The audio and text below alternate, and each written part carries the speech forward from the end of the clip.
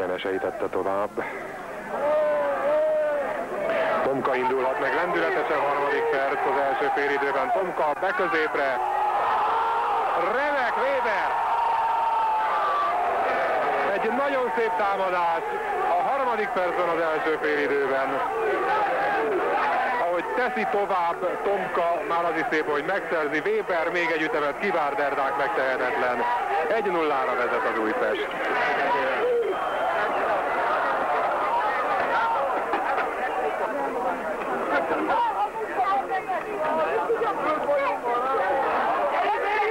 Egres indulhat.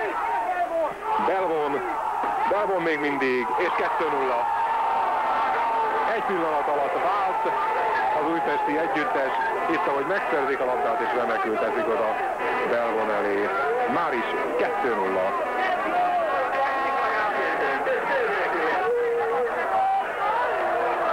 Weber. Mutatják neki, hogy hátrafelé, Molnár itt megy a bal oldalon. Weber inkább be Belvon felé középre. Még mindig lehetőség. Egresi gól. Ez igen. A szombathelyi védők csak csúszkálnak. 15. perc. Ide kerül Egresi elé a labda, nem sokat teketóriázik azonnal a szép